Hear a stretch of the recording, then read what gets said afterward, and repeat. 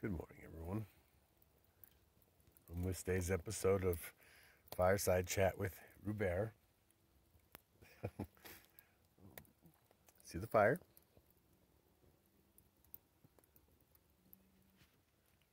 Huh.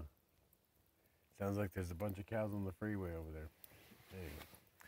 I thought in today's episode, I will talk a little bit about movies, cinema, classics, the ones that influenced me since I was a child. I mean, Jaws, yeah. You, you talk about the classic movies, you know, we're going to need a bigger boat. But, and that movie scared the shit out of me when I was a kid. My older brothers and sisters teased the hell out of me because I'd hide behind the big old box TV and, you know, let me know when the scare part's over. Okay. And you hear that dun dun dun. And they're like, you can come out now. Ugh, horrible kids. Anyway. Excuse me. Seven Samurai. Magnificent Seven. It's based on it. It's an amazing movie. Subtitles. So if you're not into that, good luck. But yeah, great movie. Um, Ran. Another subtitle Japanese movie. Epic. Ran is epic. Little, it's yeah. There's violence. It's it's sad. It's it's it's like a Greek tragedy. That's what Ran is. But um, yeah, Searchers. John Wayne loved it. I mean, John Ford. He did. He you know he did all those. He did a lot of westerns. I think he did Hondo and El Dorado and all those. But um, yeah, I love John Wayne. Anyway. He's one of my fathers. Sand Pebbles. The Sand Pebbles or whatever. Epic movie. Very very slow. Very dramatic. Steve McQueen did a great job. And is Candice Bergen really young? But anyway, good movie. Love. I'm just a I'm a movie fan. I've always loved movies. Let's see. There's the Red Balloon that I watched when I was a kid at school. Everybody's seen that movie. Um, it's a little French film. Then there's the Musketeers. I mean, pick your movies. They're all great. I mean, the new one was kind of fantastical, but um, all the traditional um, Musketeers movies are always good. You know, the ones that were they made in the '70s were kind of interesting, very funny, but yeah, violence. So you gotta be careful with that. But yeah, uh, Rumblefish and The Outsiders. I think it was um, Scorsese. A lot of really good. I mean, he's using family and stuff like that. There's um, Nicolas Cage is in it, and Rumblefish. I think he's in Rumblefish. Um, Matt Dillon. He's in both Outsiders and Rumble. Outsiders. Just, I, I love that movie. Outsiders. is So such an amazing movie. But yeah, Outsiders. Nausicaa in the Valley of the Wind. I can't even pronounce the Japanese guy that does those, but um, Ghibli Studio. Um, awesome. I mean, there's Ponyo. That's, that's based on The Little Mermaid. Um, yeah. What else?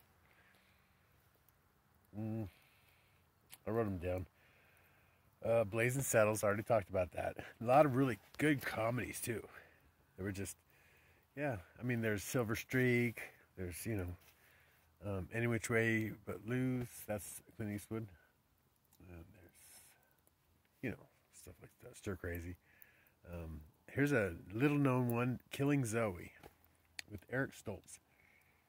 He's basically a guy that can crack safes, and he meets up with an old childhood buddy that's just a psychotic French dude with all these bank robbers. And yeah, it's a crazy movie. Quentin Tarantino produced it, so that's a crazy movie. Let's see here. We have The Quiet Man again, another John Wayne movie, but it's also a classic in itself. And I think actually the studio, John Wayne, I think it's John Wayne or so the studio didn't want to do it, but they agreed to do this the Quiet Man. John, I mean, the studio agreed to do Quiet Man as long as they did some more cowboy movies, so that was kind of cool.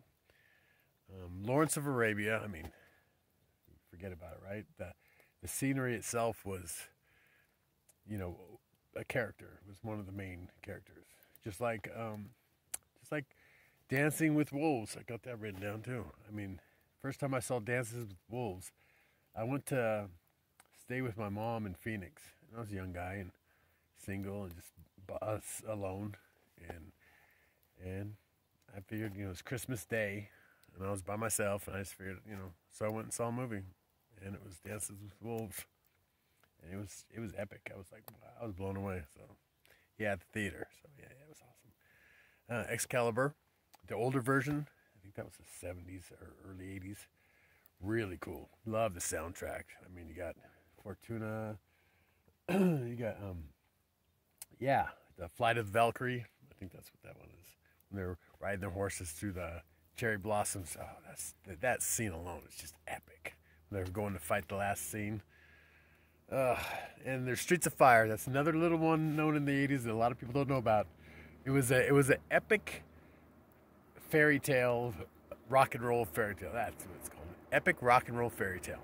And it had really great music. Um, Bonnie Tyler and some other ones. Great soundtrack. Um, Diane Lane, a young, hot Diane Lane, tied to a bed. That's not the movie, but I'm, it's a scene. And William Dafoe, we have William Dafoe in it, man. That's the bad guy. Wait till you see the movie. it's epic, and he's such a good bad guy too. Oh, he plays a creepy one.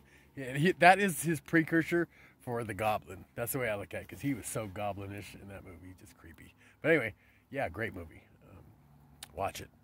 What else did I write down? I think that might be it. Um, if I could even see it, yeah, that was it. There's there's other ones. I mean, whew, but uh, movies changed my life. I mean, the weird part is right now, since this whole thing and before, during my dark night, I, it's hard to watch movies. I could, but another one I loved was, um, you know, Heath Ledger. I love him, and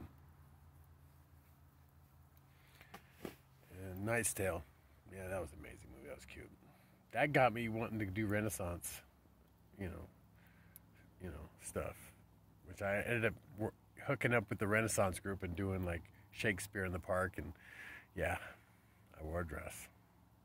But that was funny. I was like, if I'm wearing the dress and the wig, I'm gonna be ridiculous. I'm going over the top like Kevin Kline in Midsummer's Dream, like, just really, yeah, yeah. I was. That's why they get like, dude, because we did a reading at somebody's house, and they're like, "Oh, read this part," and I was like, "I'm gonna be ridiculous." Like, okay, fine. So I did. I did the high voice, and they're like, "Oh my god, you're play, you're playing the part." I was like, "Shit, I'm just that good." Anyway, well, I'm gonna let you guys go. Um, have a wonderful day, love and light, and yeah, be strong for me, and I'll be strong for you. Okay. Okay. Have a wonderful day, people. Okay. Bye. I'm gonna leave you with a little bit of this beautifulness right here. It was raining all day yesterday, but yay. Have a wonderful day, everybody.